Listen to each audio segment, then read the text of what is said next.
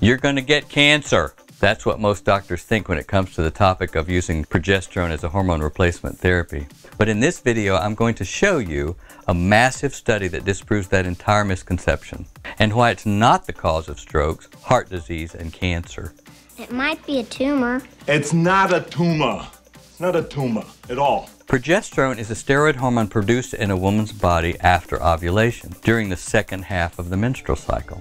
After the egg pops out of an ovary and rolls down the fallopian tube to the uterus, a small nodule left behind in the ovary begins producing progesterone in massive amounts. When this cycle stops in a woman, this ever important steroid hormone, along with estrogen, begins to decrease, resulting in a variety of symptoms that every woman is familiar with. Ah! Look at this! My first day as a woman, I'm getting hot flashes. Such as sleep problems, depression, anxiety, cognitive deficits, and bone loss.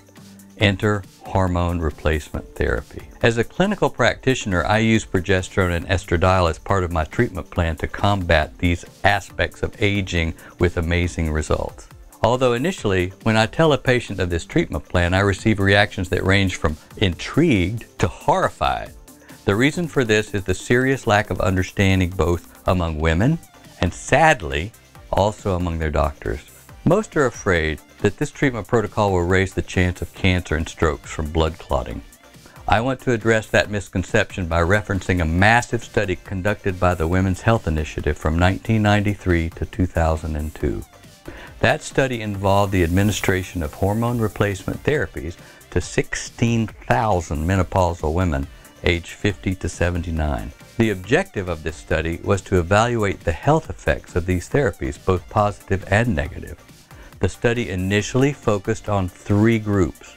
A group using Premarin, a synthetic estrogen, a group using Premarin and medroxyprogesterone acetate, a synthetic progesterone, and women taking a placebo.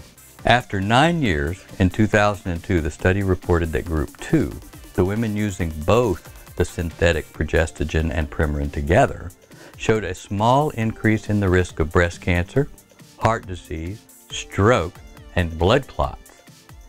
It is these reported results from 2002 that most women and doctors reference when they express their concern for using this hormone replacement therapy. Because of this, the study of these two hormones together, group 2, was discontinued. However, the study continued with group 1, just following the women on Premarin, and in 2004, the study concluded. Researchers found that those women using Premarin alone had beneficial effects with lowering of breast cancer risk and heart disease, though there remained a small increase in the risk of stroke. Now, fast forward to 2007, the same investigators published further analysis of their original data from 2002 stating that the cancer, heart disease, and stroke risks were overestimated in the original. In fact, with this reanalysis, they found that HRT initiated in the 50 to 59 year age group had a lower incidence of heart disease, lower risk of death from any cause, which we call all cause mortality, and no clear increase in risk of stroke. Of course, by this time, most women in America, and around the world for that matter, had been taken off their hormones since doctors were unaware of these new findings, and this sadly is still the case. Did you see the memo about this? Yeah. Yeah, yeah, I have the memo right here. I just uh, forgot. Fast forward from 2007 to 2017, another 10 years, when yet another follow up study by Women's Health Initiative of 27,000 women from the original group were studied showed a reduced risk of breast cancer in the Premarin only group, but still a slight increase in the risk of breast cancer in the combined Premarin and progestogen group. And women in this follow-up also demonstrated a decrease in cardiovascular disease and all-cause mortality. Let's summarize this. This study proved that Premarin reduced breast cancer risk, Premarin reduced heart disease, Premarin reduced all-cause mortality, Premarin and progestin showed a slight increase in breast cancer risk. As a practitioner, I would suggest the use of natural estrogen and progesterone as would be made in the ovaries.